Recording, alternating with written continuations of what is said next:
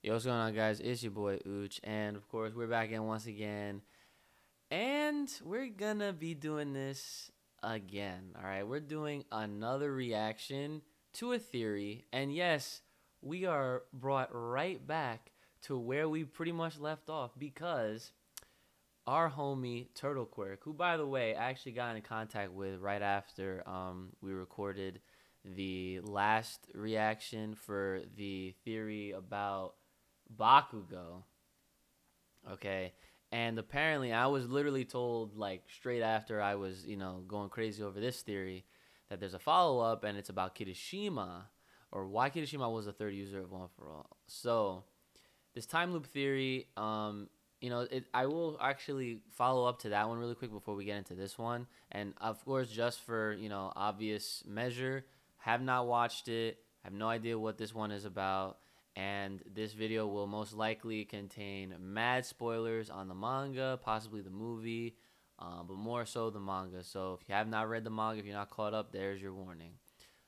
Also, um, so yeah, like I said, going forward and following up with why Bakugo was a second user, after letting that theory really marinate and sit with me, um, it, it, it really just makes all the sense in the world that if this actually does happen and it lines up with that silhouette actually being Bakugo, then at least that much of these theories that Turtle Quirk is coming up with are valid, and I'm actually looking forward to seeing if they really come to life in the story of My Hero Academia. Because, like I said, that's a huge swerve. It's a huge curve. No one saw coming, and uh, no need, no no pun intended for the Persona fans. But uh, let's just get right into this one. Today we're going to explain the evidence and the subtle clues as to why Kirishima was the third user of One for All.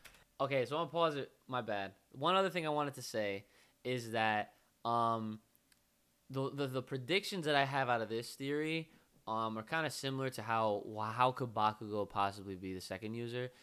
I feel like with Red Riot, right, or Kirishima being the third, um, and then like if you look at the silhouette where you know I'm sure he's gonna show it, but Bakugo, you could clearly tell is Bakugo, but the guy next to him that's we can't tell obviously has a different hairstyle. And one of the things that I can call right off the bat is, well, you know, we see this in anime all the time. Characters always take some kind of physical change, whether it's a hairstyle change, um, a wardrobe change, you know, all those kind of things. So him, whoever, if he's commissioning this, like whoever's the artist, I need these. I need these freaking these renders. Like I just want them. Okay. But anyway, let's get back to the theory. And how by taking this power, it may have led to him suffering an unimaginable fate. Now, a couple of months ago, I posted a video explaining why Bakugo was the second user of One for All, and was flooded with comments specifically asking me if Kirishima could be the third. So this video will answer how and why that would be the case, as there have been little hints alluding to it that I'm going to take you through. However, if you've not seen that Bakugo video, then I'd recommend watching that before you watch this one. Yep. But for those of you who like to live life on the edge, let's get into it. we all know that One for All has a total of nine permanent users, right. with Deku being the most recent. And in a recent chapter in the manga, some new information was revealed about some of the previous holders. For example, the fact that they didn't really have strong quirks and that they mostly died at a young age but it was very interesting to note that two former users were not included in this conversation. Right. Despite searching far and wide, All Might could find no information whatsoever on the second and third users, almost as if there was no existing records of them. That's and on top saying. of that, they were both purposefully blurred out in previous chapters. Exactly. And the placement of this speech bubble directly next to Bakugo is probably one of the least subtle hints that Horikoshi has ever given us. Like guys, the bubble is literally touching him and look at what it says. All Might then goes on to say, that All for One was obsessed with One for All and would seek to destroy anyone who possessed the power. And because One for All is a stockpiling quirk, its power is built up through the generations, with All Might being the first and only user of One for All to defeat him. Right. Bearing that in mind, it was not the duty of the previous holders to defeat All for One, but rather, as it says in this panel, past users just had to make sure that their power would reach the future. Where I don't know how this theory is not gonna be real, bro. Like, this is this is stuff that my man Turtle Quirk literally like paid close attention. Like, I don't see. I'm mad at myself because I don't know how I missed any of this or why I think. Because I know, man. I'm just glad that somebody did, and, and they, they're doing they're doing the Lord's work for us right now. where one day it would be strong enough to defeat him. The past users were not chosen ones, but rather they were the ones trusted by the previous holder. This ties Uh-huh. into my Bakugo theory, as I mentioned that one of the reasons he was sent back in time was to ensure that One For All was created in the first place, thus ensuring that it reaches the future. And that's all well and good, but what next? Bakugo is many things, but immortal he is not. He knew that a time would come where eventually he would have to pass on the power, and it would have to be to someone he would trust. And as we saw at the battle in Kamino, there is no one he trusts more to get him out of a sticky situation than Kirishima. Bakugo needed someone he could trust to take the power, survive, and keep it safe in a world where All for One reigns supreme over Japan. And when looking at the third user in this flashback, it's pretty clear that he does have a very distinctive similarity to Kirishima, which a ton of you guys have mentioned to me in the comments. When you look at the shoulders of their respective hero Uh-huh. costumes, let's not beat around the bush here. The gear shape is literally identical, and Oh my god. Yup, it's him. They fucking go back in time on a mission, bro. I can't believe this. I real I I really hope this is all true. Horikoshi, Horikoshi, if you're watching this, man, just know that I hope you're not trolling us. Cause that I see. I didn't. I didn't even peep. I just like I didn't even peep with Bakugo, because it didn't even occur to me. I never thought like why. Like I never thought that this story could implement time loops and all that kind of stuff. But And then let's also consider this other fact. Not only have we never seen another character with gears besides Kirishima, but we know that more than anyone else, the hero who he most aspires to be is Crimson Riot. You'd think that if Riot. Kirishima was going to copy someone, as far as his hero costume goes, it would be this guy, and not his great great great grandfather, as I'm sure many of you are dying to tell me that this guy is. I got enough of those comments on the Right. Bakugo video. Damn. Now, while this pineapple hair does look a little different to Kirishima's usual styles, it's not like every adult has the same hair they did when they were 14. And thanks to this artwork by Rodrigo Sani, we can easily imagine what Kirishima would look like if he had a hairstyle similar to this. And I gotta say, it doesn't look too out of place, but I first of all, characters with man buns, mm, fire, and with, with the ponytail, Lil Jon, but yeah, he he could pull it off free. when Bakugo was the one I muted it for a Shima sec. Sorry. even bothered to go back in time when Bakugo was the one who was entrusted with ensuring that One For All was created. There are two possible answers to this question. So starting with the crazy theory, what if Bakugo traveled back to the past by himself and had spent his entire life in the past building up One For All, but at the end of it, he found no one he deemed worthy of taking on the power. Bakugo has high standards, guys, we know this. True. What if, in his time of need, Bakugo used One For All as a vehicle in which to send an Eren Yeager style message to the future. No. oh my god. Nah, nah, nah, nah, nah, nah, nah, nah. Chill, turtle. in which he tells the heroes that he needs a successor that he can trust before he dies of old age. So when Bakugo leaves this time transcending WhatsApp message inside One For All, this would find its way to Deku in the future, who would receive Bakugo's message in a vision or dream, quite similar to how we saw the memories of the first user of One For All. And after this, just like in Kamino, Deku would realize that the one person Bakugo would want to help him in this situation is Kirishima. And there's no way that the chivalrous hero, Red Riot, would turn down the call of his friend who is literally stuck in the past. Instead, he'd do the courageous thing and put his life on the line to ensure that One For All reaches the present day. Okay, hold on. So, real quick, I just had a thought. Like, if Kirishima is the third guy, what if? Nah, it couldn't be. I was about to say, what if? What if he was Crimson Riot? What if this guy inspired himself this entire time? Now that's fucking crazy. And thanks to the beauty of time travel, Kirishima would appear in the past before Bakugo ever had the chance to die without having a successor. And yes, this is a paradox, but no more so than Bakugo being the second user was a paradox. It's basically like an infinite cycle. It just repeats and repeats and repeats. And it's hard to ascertain where it all originated from. That's the paradox, that we don't know what the quote unquote first timeline is. But if that was all a little bit too convoluted for you, there's a far more simple possibility as to why Kirishima was the third user. What if Bakugo and Kirishima were sent back in time together Right. in order to ensure that Bakugo could fulfill his mission and perhaps to help him make more rational decisions when trying to convince the first user to pass on his quirk. Very true. In this scenario, things would be a bit different because they'd obviously age at the same rate because they went back in time at the same time. That would mean that when Bakugo becomes an old man, or if he becomes an old man, Kirishima would also be old as well. So the only way for Kirishima to get One For All in this scenario is if Bakugo, like most of the other users of One For All, is killed by All For One and passes the quirk on to Red Riot before he dies. And when you look at this panel of the previous users, it's basically a ritual at this point. If you look at the sixth holder, I mean, he's literally crying with his arm blown off as he's trying to pass oh my on God, the quirk. yeah. Like, this quirk is cursed, guys. But moving on. We know that Deku will eventually get to use all the quirks of the previous users, which was one of the many benefits of Bakugo going back in time. And the same thing would apply to Kirishima's hardening quirk, as Deku could use it for the final battle with Imagine Deku using explosion and the hardening. Busted. Shigaraki. Now in chapter 241, Oh, because I will also say that that was another thing that I wanted to bring up is that the second Midoriya uses a quirk that he obviously isn't aware of that he has the the capabilities of, like that will be the next big, like, yes, this theory is real, like indicator, like if he uses explosion and if he gets hardening. Like if he whips that shit out and be like, how the hell can he do this? Boom, this theory is correct. one of the manga, Horikoshi put in a harmless joke in which Kirishima said to Deku that he had mastered his hardening quirk after Deku was tensing up on stage whilst giving an interview. now, I'm not saying that this harmless one off joke is evidence of something, but let's just presume that this theory about the second and third That's a foreshadow. Remember what happened in the beginning of Shippuden? What happened? Kur- Kurama, well at the time Nine Tails Fox was talking to Sasuke and he was like, "Yo, you remind me of Ma- Uchiha Madara." Sasuke goes, "I don't even know who the fuck that is."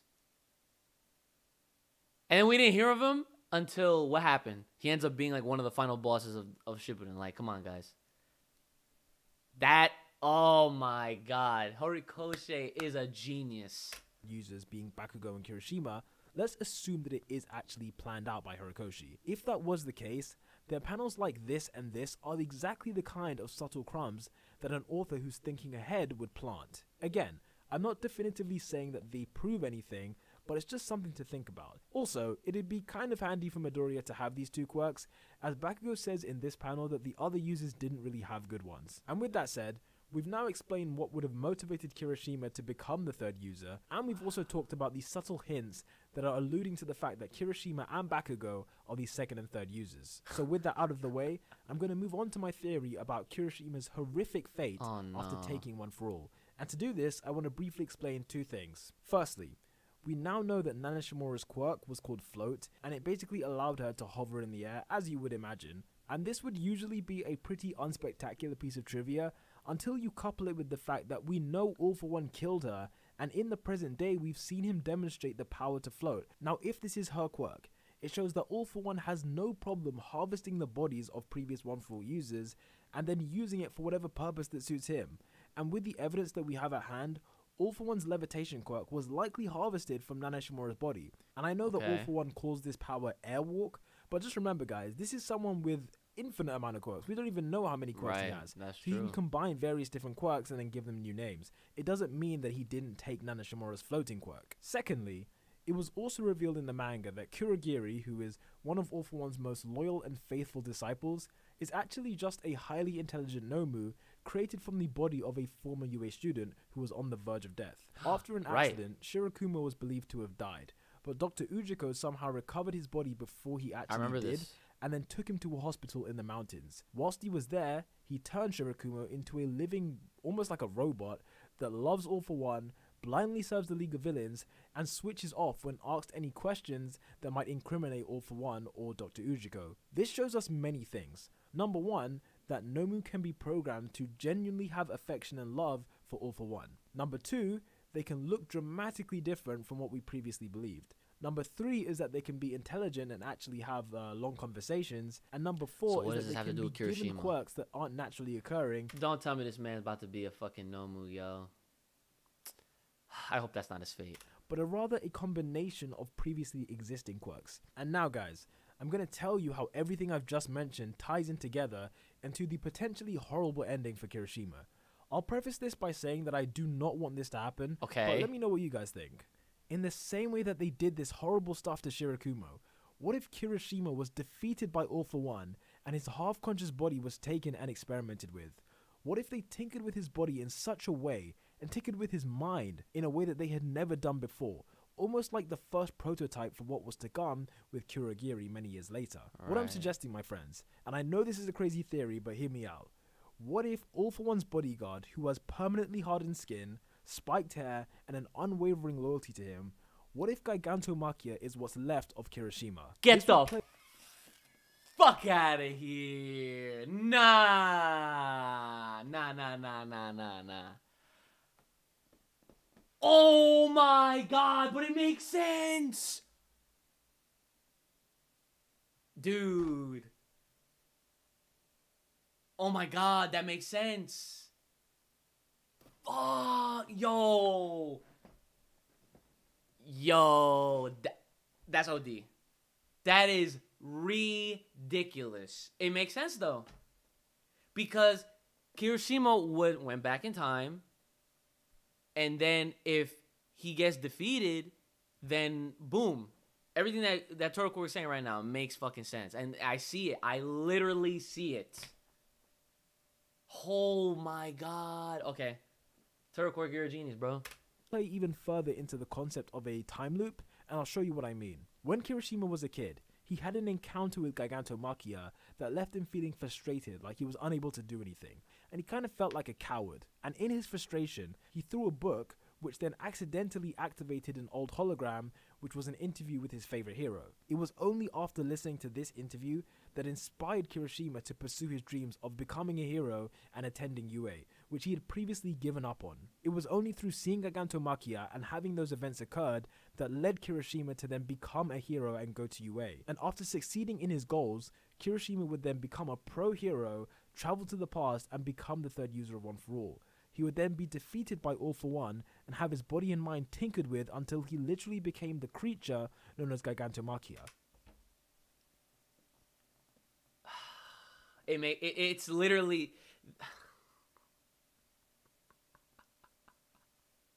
Oh my god. This dude, this is crazy. I can't even I literally cannot even believe this. I cannot believe this. It it makes it makes way too much sense. It lines up. This this is this is a time loop, guys. This is a time loop.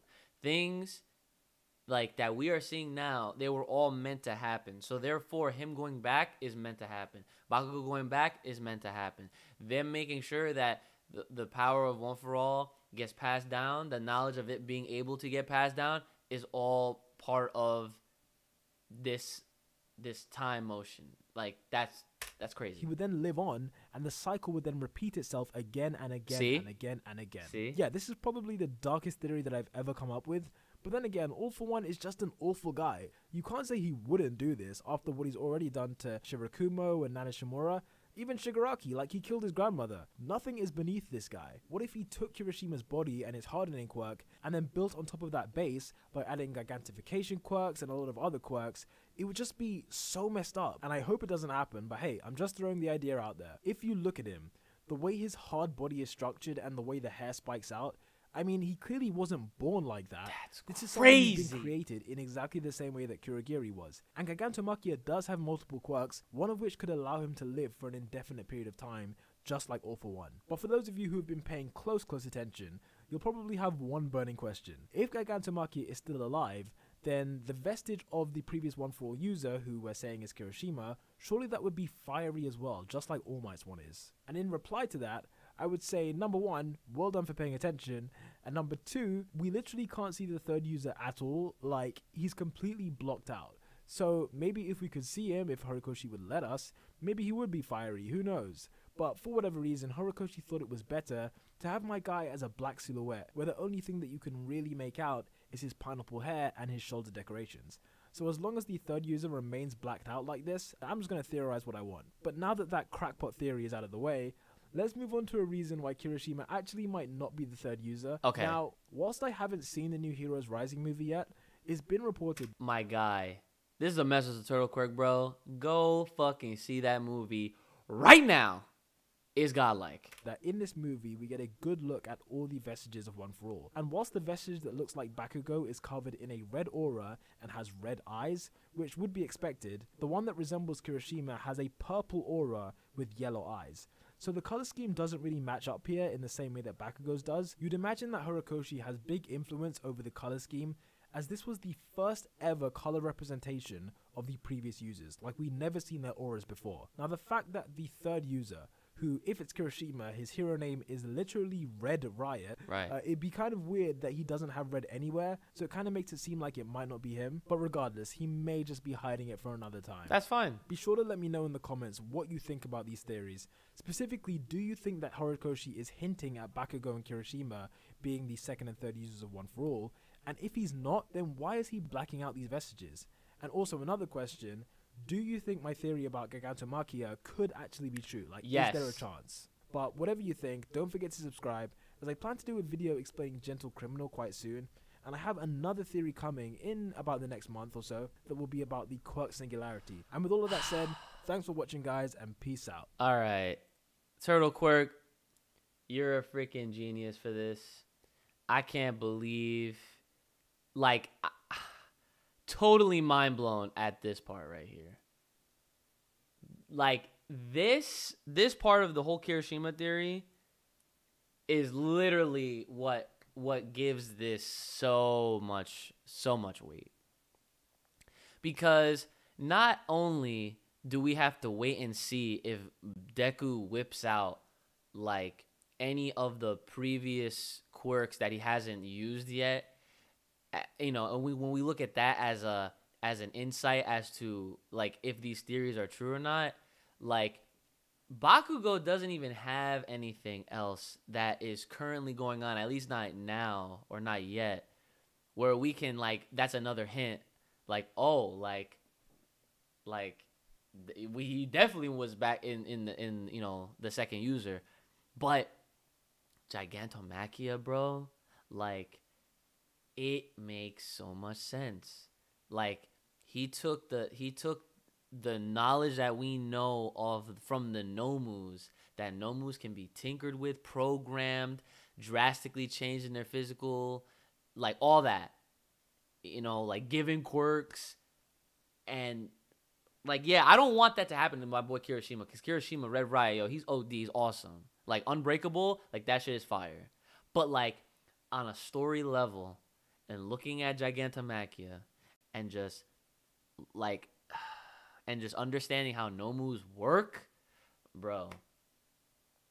Like, the only other thing that I have to question then is if if if if Kirishima is in fact the third user, and what Turtle Quirk is saying, where he you know, like unfortunately dies, and then gets his body taken, tinkered with, blah blah blah, and then Gigantomachia turns into the Gigantomachia that he is. Has there ever been a point where all for one has he come across Kirishima yet? Has he seen him? Because I feel like because if the answer is no, then that's okay. Because now that I think about it, I don't think he's seen really any of the well, you know what? There might have been a time where he might have seen him like on TV when they was talking about UA and all that stuff during like the like the first season stuff. Cause you know at that point he wasn't like locked up. Now he's he's locked up in confinement. But that's what I'm trying to figure out. Is if there was ever a point where he did see Kirishima.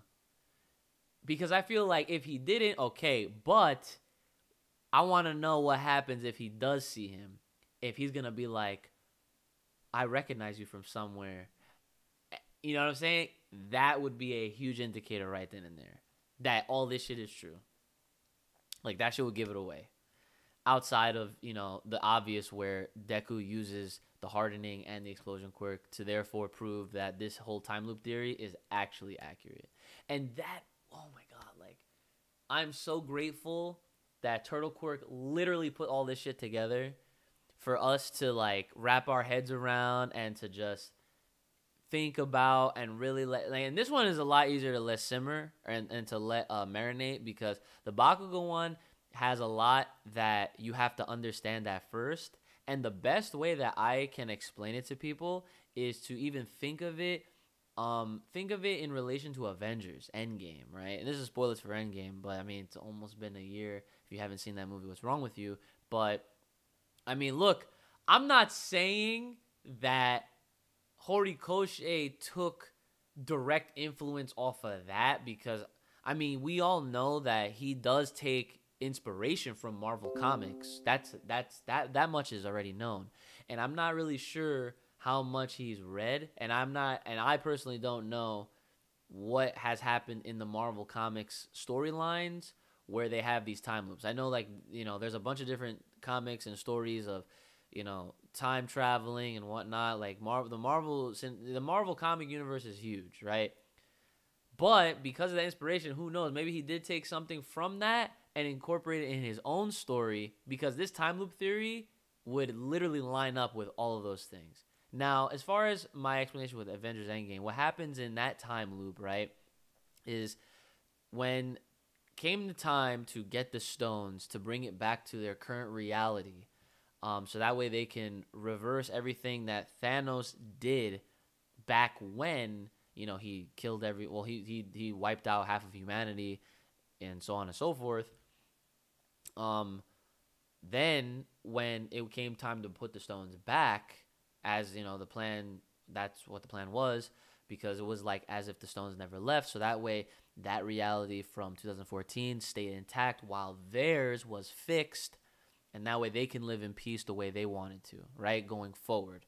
However, the one thing that was missing was that Captain America decided to go back farther so that way he could live his life out. And what people might not understand is that right at the moment in the current reality in 2022 or whatever, where um where they had left to go put the stones back and then um they came back, but they came back without Cap, and then at that very moment old man Cap, uh, old man Steve Rogers was chilling there waiting to have that conversation with Falcon to pass on the fucking shield, right?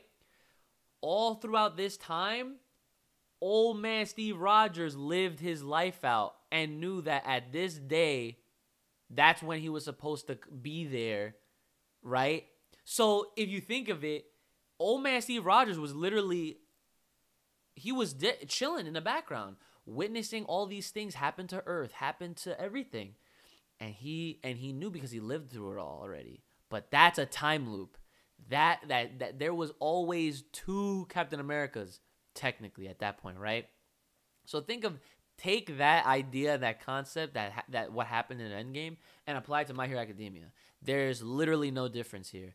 That the fact of the matter is, is that Bakugo and now Kirishima are apparently and very, you know, they I I'm gonna believe that they are going off of Turtle Quirk's theories right now because it makes sound sense.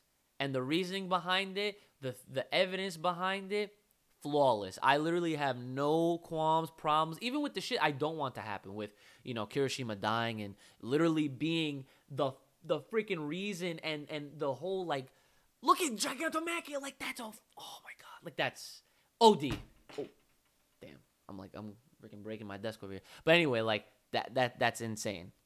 Like that's insane. So like they were always a part of this that a part of this this time loop, like this story. Like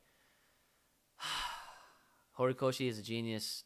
Turtle Quirk is an even bigger genius for figuring this shit out like this early on because we don't even know like the war is about to go on right now in the manga and we don't I, I mean after like figuring all this shit out i mean we can only take a guess as to when Deku will start whipping out more of these quirks, but because so far, I mean, he really he only started he only whipped out like what like one or two, and that's it.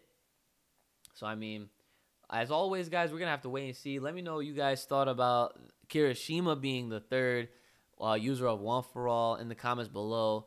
Like this video, make sure you click the link in the description so that way you can check out the theory for yourself and like that video. And after you sub to me, make sure you're, of course, subbing to Turtle Quirk because this this is that the the man behind the the the sense. And I'm actually like now before I go on a tirade, not even a tirade, but a, a, a binge marathon because like I've been a fan of Turtle Quirk for a whole 24 hours, right? And seeing that this dude is so like he he put this theory so well, he like he crafts this theories. I want to know if you guys want me to react to any of these other theories right now because this shit is fire and it makes for good discussion. And I actually do like talking about My Hero Academia, and I feel like I haven't really done enough My Hero Academia content outside of my reactions that I've done in the past already. So, with that in mind, guys, please let me know in the comments. Take care of yourselves. Have a good one. May the power protect you guys. I will see y'all next time.